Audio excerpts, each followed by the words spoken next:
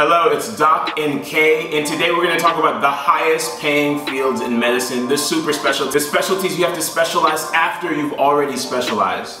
I do want to say that if you just Google a doctor's salary, whether on salary.com or some other website or a survey, you're not going to get the accurate information. The source I use is one of the top resources that looks at physicians' salaries and do not go into any of these fields or any field in medicine or medicine in general for the money. I have another video about that, but I just want to say that real quick.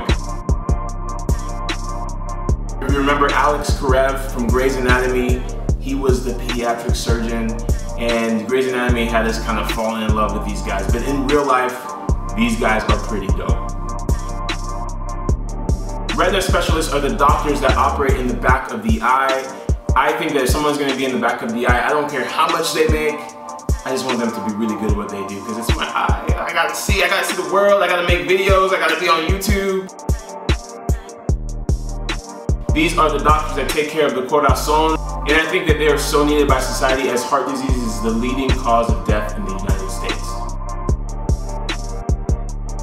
I believe there are multiple routes you can become a hand surgeon, including ortho, plastic surgery, and I believe gen surgery as well. We're down to the final round.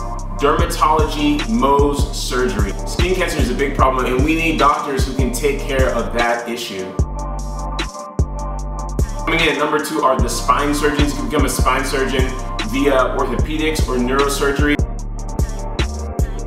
At number one, we have neurosurgery at $823,000 a year.